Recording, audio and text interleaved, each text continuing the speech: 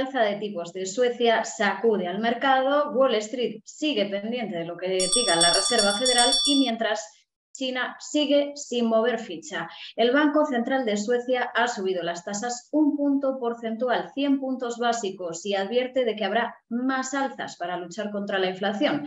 Mientras el mercado está a la espera del anuncio de la Reserva Federal de este miércoles, se habla de 75 puntos, aunque no se descarta que el alza pueda llegar a los 100. Y mientras el bono a dos años de Estados Unidos, como vemos en el gráfico, ha tocado ya el 4% en niveles que no se veían desde el año 2007.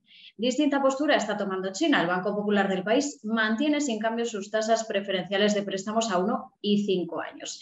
Y a todo esto, el presidente del Banco Mundial, David Malpass, ha asegurado a Bloomberg que esa inacción de China en esa decisión de no aplicar más estímulos, pese a la ralentización económica mundial, pone más presión, si cabe, sobre Estados Unidos. La divergencia de esa política de Pekín con la mayoría de otras grandes eh, economías que sí que están subiendo tipos de forma agresiva acumula presión sobre la moneda y ha limitado también el margen de maniobra para una mayor relajación monetaria, mientras el Banco Mundial ha rebajado sus previsiones eh, y espera una contracción el año que viene, 2023, la economía mundial entraría en recesión técnica.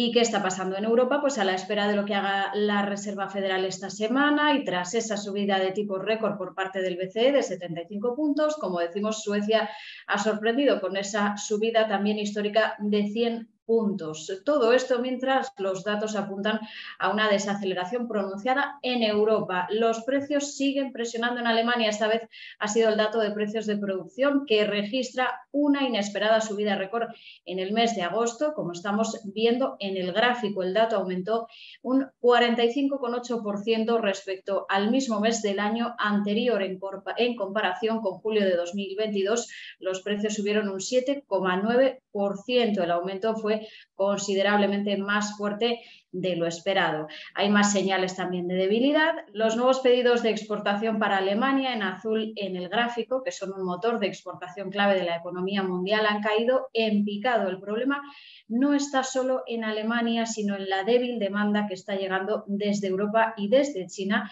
y que está impactando de lleno sobre las exportaciones alemanas y pesando así también en el corazón del motor económico de la zona Yeah.